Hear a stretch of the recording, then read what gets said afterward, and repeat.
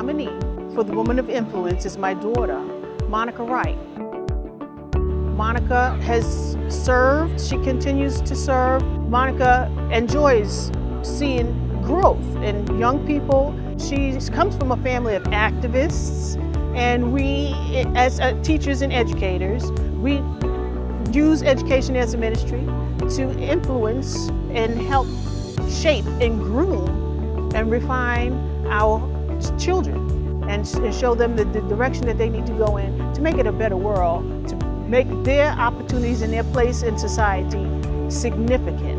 We're a military family, we have served.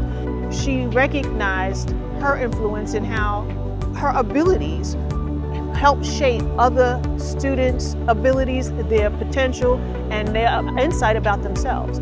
She has high expectations of people.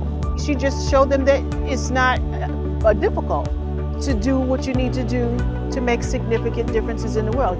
Globally, women of influence have a ministry. Monica chose the country of Zimbabwe as her country of choice to serve. Monica chose Zimbabwe to honor a friend that she met in Australia who is actually from Zimbabwe. They met in church. They became friends because both of them were so far away from home. That was really her way of honoring that Christian friend that she met in Australia.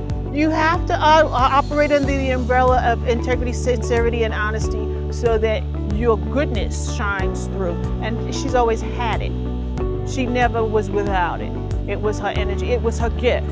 It's, it is her gift. Well, I'm thankful to, to the Almighty for providing that energy to us as a people, to me as a family. My woman of influence is Monica Wright.